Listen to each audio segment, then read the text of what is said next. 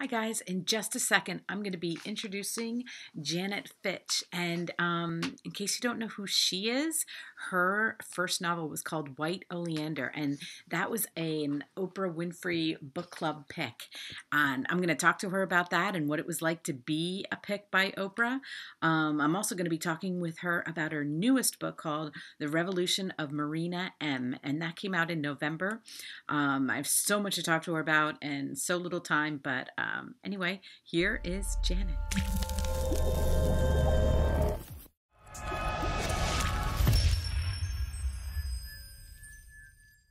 Hi, everyone. I am so excited to be talking to author Janet Fitch today.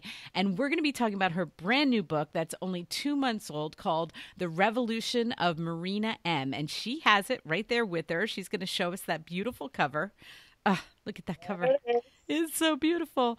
But I have to tell you that, um, in case none of you remember, Janet was an Oprah book club winner back in the day, back in like 2002 for White Oleander.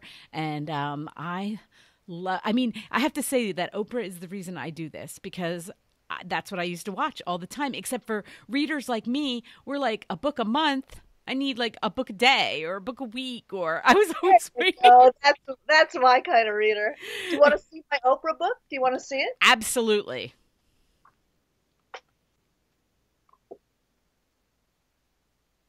When you have an Oprah book, they give you a special edition. oh my goodness.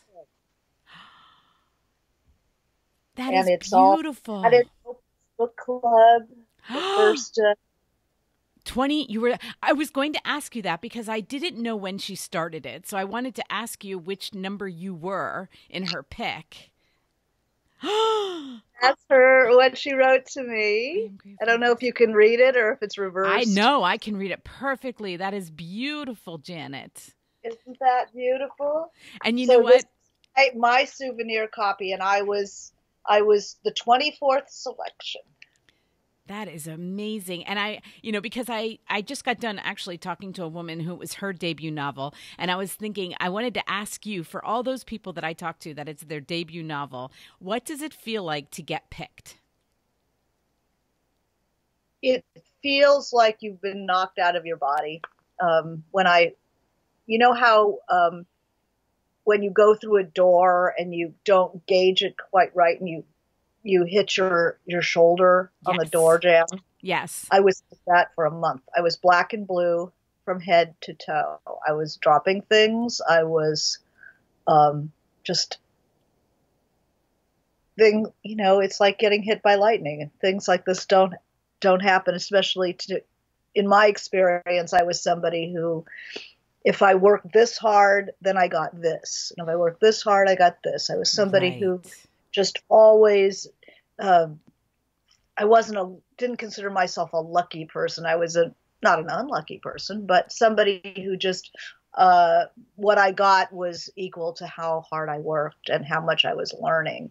So to have something come in from left field that um, was so so good, so incredible, I I wasn't prepared for it. It just knocked me off my feet. Did you find out from them or your publisher? Well, I was. Um, I found out from them, but it was, it was. I knew something was up because my publisher was had been looking for me. Um, and why would he be looking for me? You know, that was weird. um, and just to chat, it's like, what? um, and I was at work and I got a call and could you hold for Oprah Winfrey? And I was like, yeah, maybe. I, I mean, a lot of people had no, you know, did not did not believe that it was her. Thought it was a crank, you know, would think it was a crank call. But because of my editor looking for me, I had some idea something was up. But of course, couldn't have pictured that.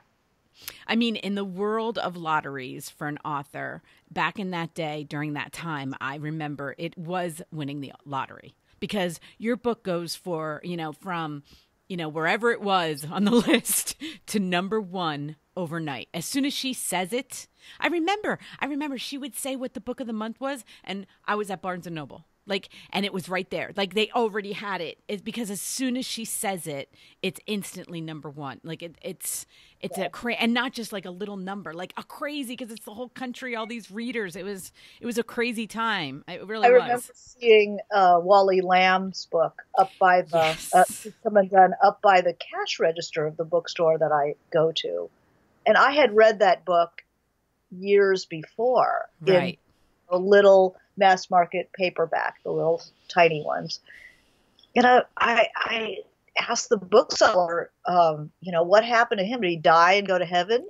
and, and they said, oh no, he was a an Oprah book club pick, and I'm not a big TV person, so I didn't even know that there was a book club. Um, so that was pretty exciting for me uh, to get that call. Uh, I just I couldn't wait to ask you that question because I you know I knew that it was it had to be an extreme like one of those moments you know. and after last night at the Golden Globes, we're all thinking about Oprah. And we are all, all thinking. My son called me today and said, "Is Oprah running for president?" I was like, "Maybe, maybe." yeah and then okay, so what I did, and then we're going to talk about Marina because I can't wait to dive, you know, dive into her. But one more thing that I wanted to tell you is that back then, you know, 2002, uh, the movie came. So then the movie gets made, right? And there are all these stars in the movie, and I I didn't really remember, so I had to rewatch it this weekend because I was like, I, I knew it was an awesome movie. And I have to say that 99% of the time that you go to the movies when you've read the book, you are highly disappointed. But I do it every time anyway because I'm a reader and I, I want to see what they did with it. But I have to say, with White Oleander, I did not feel that way. Michelle Pfeiffer was amazing in that movie, and I wanted to see what you thought because as the author. I mean, of course, there were things that were missed, but I have to say, it was a pretty good book to movie. Yeah. I'd, I've had really good luck. You know, the the White Oleander movie was fantastic, and the movie that was made from uh, my second book, from Paint It Black, is out now, streaming. When did it come out? It's uh, this this year. Oh, this year. Okay. This year, it came out in April, and um, it's now streaming everywhere you know, Apple and Amazon and net, it, it's not on Netflix yet, but it's on everybody else, and it is incredible too. I can't wait to watch it. Maybe maybe Marina will be picked up. I, well. I wouldn't. I, this is my wish that Marina gets picked up for a mini series.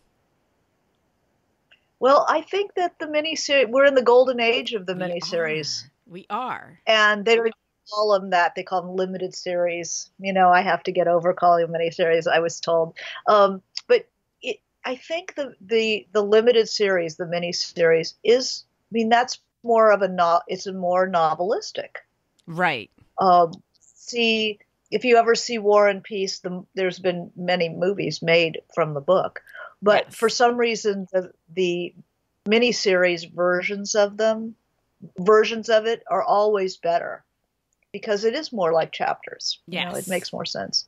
Yeah, especially so, a big, big book like this. Yeah, there's no way they could do it in a movie. So I'm not even going to say movie because I just don't think a two-hour, three-hour movie is going to make it. It's got to be a miniseries. So we'll just put that in, into the universe, okay? yeah, it's and, available. Right. And um okay, so what you know, like just from rewatching White Oleander and then going to Marina and I was like you, you take such these women, okay? And it's like First of all, when you wrote White Oleander, the name Astrid became one because I was having babies at that time. so I have six children, and you took that name and made it like the number one baby name.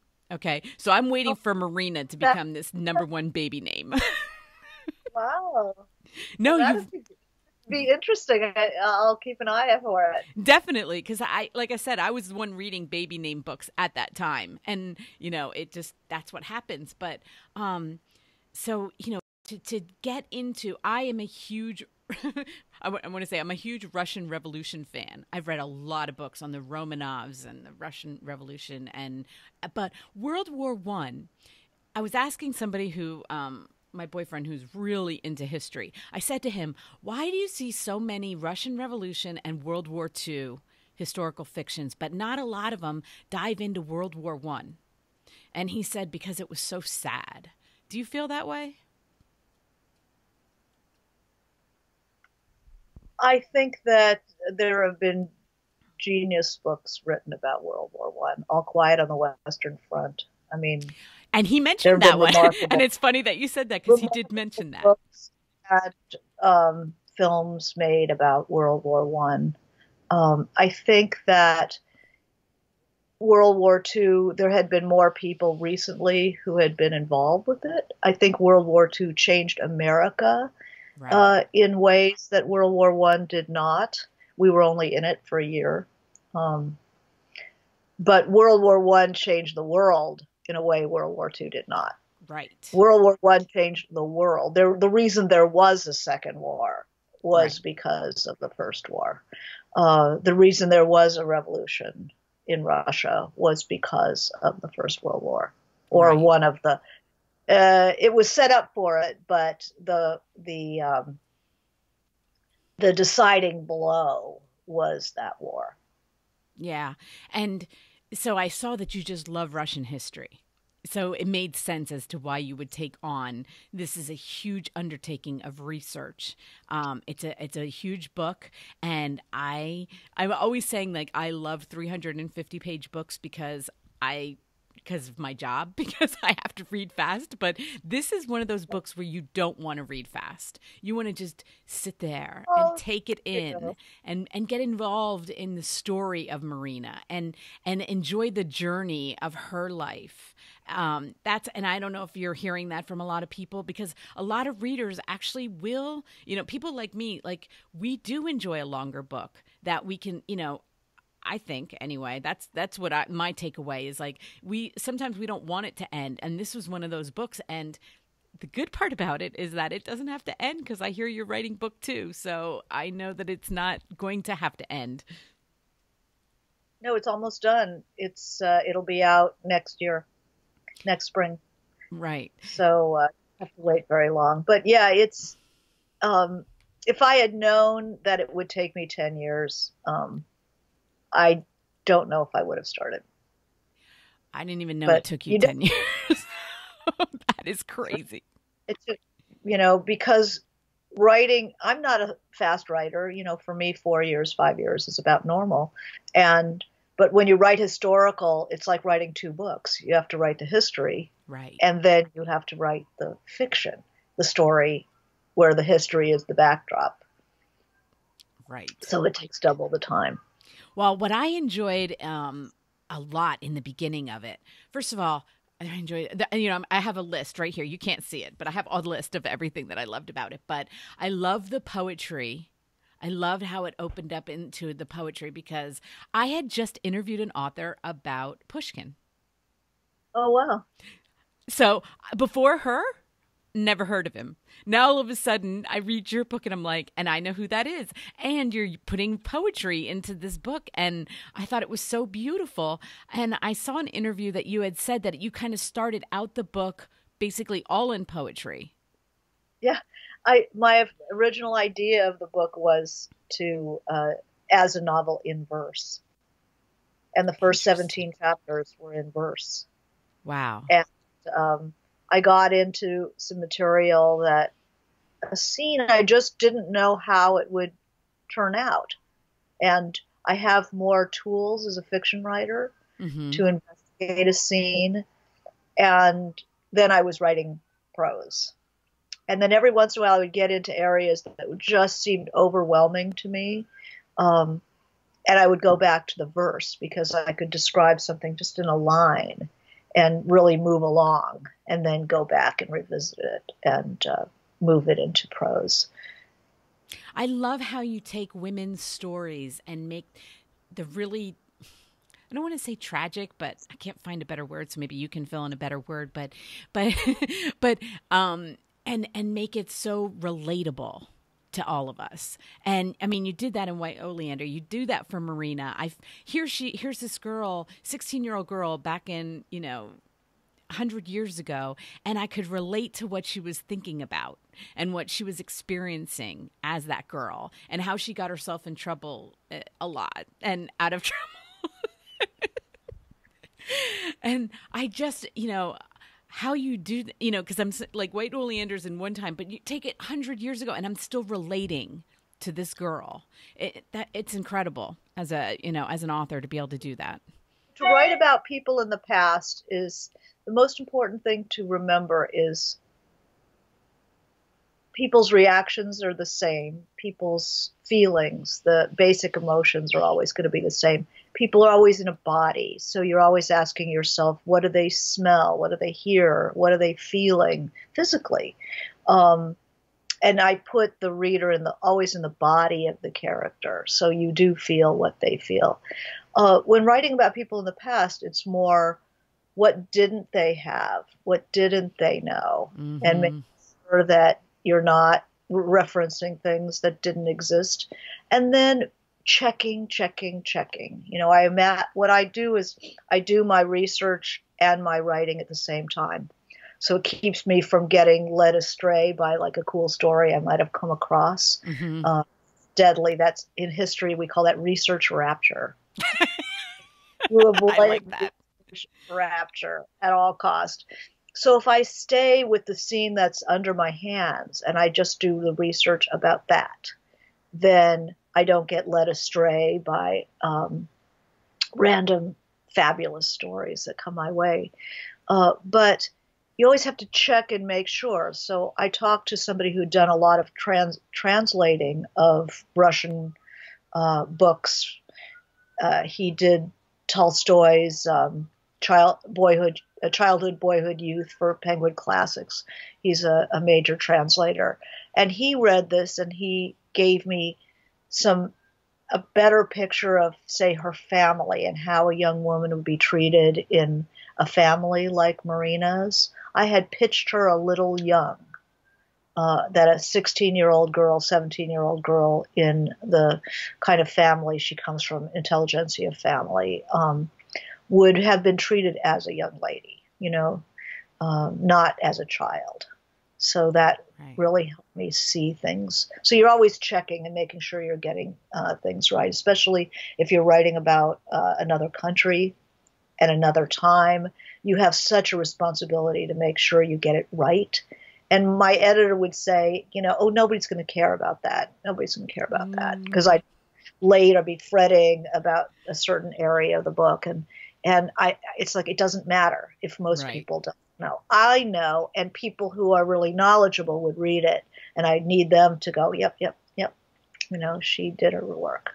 Yeah, that's what I was going to say because with historical fiction, you always want the kudos from the people who really know. Like that, you know, if a historian comes to you and says, you got that dead on, you're like, oh, I did. That's I right. That's right. When they start talking about it, the subject just um,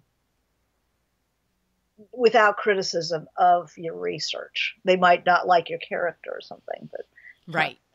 Exactly. But but they want it you want them to say okay so i i picked out my favorite quote and i have a lot. I have pages. I i because on kindle in case anybody wants to know you can like underline on kindle like they allow you to do that. But i picked my favorite one to tell you and because I thought this just summed up this book. And it said, Why did everybody want a boy to hurry up and become a man, but nobody wanted a girl to become a woman, as if that were the most awful thing that could befall her?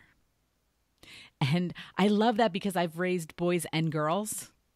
And I swear I was protecting my girls from being a woman. I, when I read it, I was like, oh my God, I did that. I did that. And 100 years later than what she's writing about. And I thought, I don't know, how did you come up with that? Like that line is just beautiful. I don't know. I think that as a writer just the way the same way a poet works is you're looking for you're looking to take the next step so you you see something you see a phenomenon and it's up to you to can you make a statement about it mm-hmm. so i think that in literature we really try to move to the bigger issues. So it's not enough to observe a phenomenon uh, in your you you know you observe a phenomenon. This is what's going on in the family. It's a struggle about this girl trying to grow up and parents trying to keep her young. Uh, but then, can I make a, a larger statement about life? And right. so you're I'm always pushing to see what it mean what things mean. It's not enough to just see them. Not enough for me. You know, I'm I'm always pushing for a, what does it mean? That's why we turn to literature in a serious way. Yes. We get a bigger picture of what we already see. We know these things instinctively to be true, but we want somebody to take it the next step and tell it what it, tell us what it means. Yeah. And then we can really wrap our head around it. It's to me it's those moments in a book that you stop reading. That was one of those moments. And when you when you hit something that hits you like in your heart and you just stop and you put the book down and you kind of let it absorb. And that's what that that's why I picked that one because I remember really stopping and saying, oh, "Yes. Yes, she got that." That is exactly, you know, it resonated with me, you know. So I, I, I, always like to share that, you know, so that it, I don't know. Some people pick different ones, but that was mine. So anyway, what does um? Okay, so you're set out to write, you know, this long book. Are do you you said how you do it, you know, kind of together, but do you know how it's going to end, or did you know that there was going to be a book two, like immediately? No, I didn't. Um, I just knew that her story would go on. I, I'm going to go all the way through the revolution. So I had the chronology. What I didn't understand when I started was in a in time of revolution how much change, how much hmm. change week by week people i mean we're starting to realize how much change we can endure week by week um, but in a in a in a revolution the change is is it's like every week is a month, every month is a year. Right. Um, you you you know there's so much so much change, and uh, I wanted to to bring her through that. I didn't. It's not a history. It's how I'm interested in how history affects us. Right. How we how history moves through our lives um, and propels us in ways that we, you know, we couldn't a couldn't have imagined, and b um,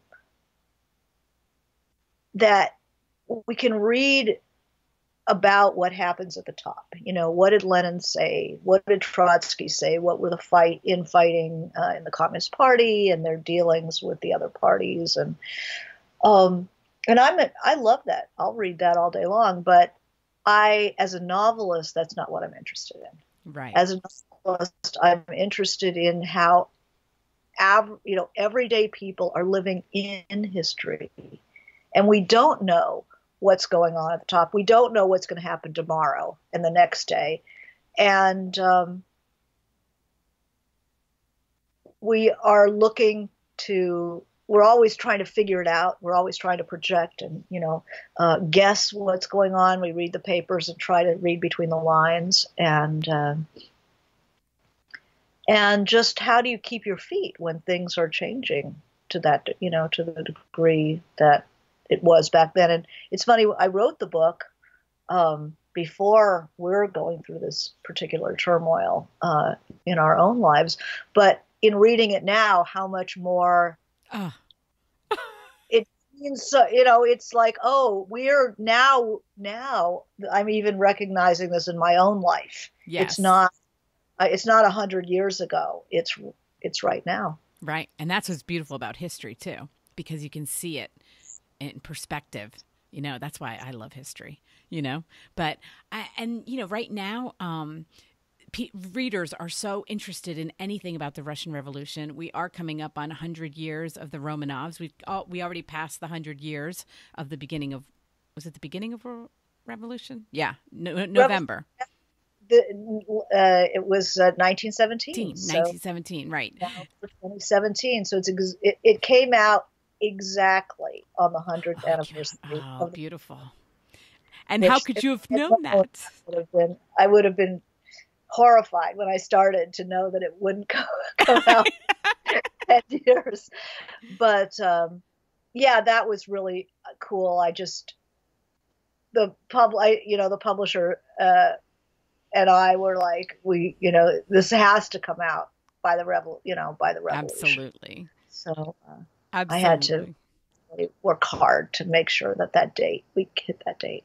Well, I'm so happy you weren't ready to let her go. And I saw on Amazon all of your readers are really happy that there is a book too and that you weren't willing to let her go. Because a lot of times authors are like, nah, I'm on to something else, no big deal. But I'm, I'm so happy you're going to finish it to, you know, the, all the way through and get yeah. to see, you know, how that goes. So can you show us the cover one more time? Because it is beautiful. Look at that.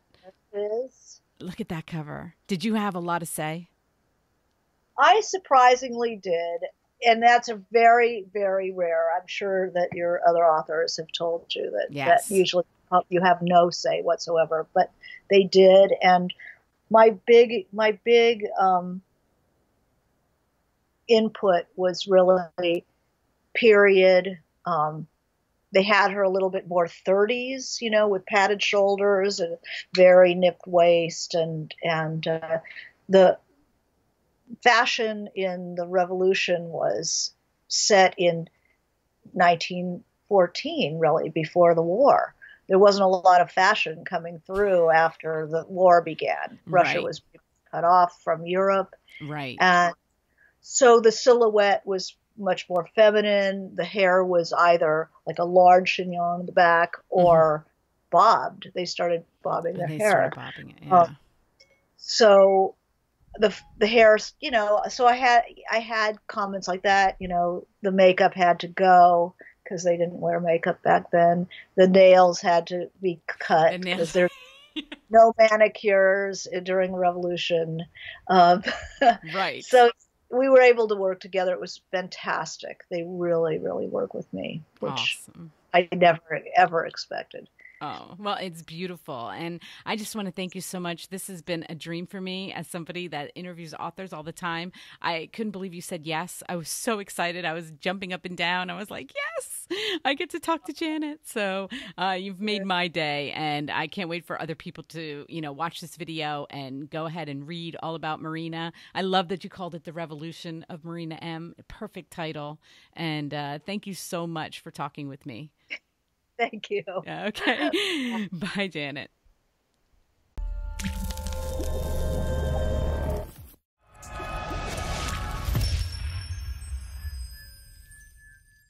Hi, guys. Wasn't that amazing? Janet told such great stories about the writing of this book and about the Oprah Winfrey Book Club and how she found out about White Oleander. I love that story. Um, it, it, really was a dream. I told her it was a dream come true, and it really, really was. That was so much fun for me. Um, if you enjoyed this video, please hit like, and if you'd like to subscribe, I put out videos four times a week, and then I do review fi- Friday faves and uh, Saturday summary videos. And uh, thank you so much for watching.